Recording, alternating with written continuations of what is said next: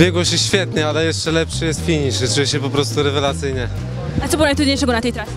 Najtrudniejszego walka z bólem. Ja biegnę z kontuzją dzisiaj i po prostu to było największe, ale, ale jaka duma, jak się po- pokona ten ból. Coś niesamowitego. Polecam wszystkim.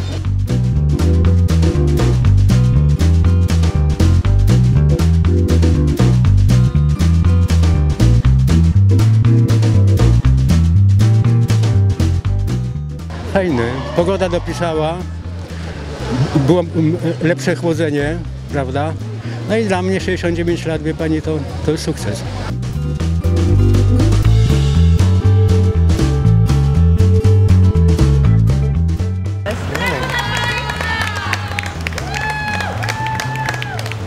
My się specjalizujemy w kibicowaniu generalnie. Co roku kibicujemy naszym przyjaciołom i w przyszłym roku mamy zamiar jeszcze y, wzmocnić, jeżeli chodzi o kibicowanie.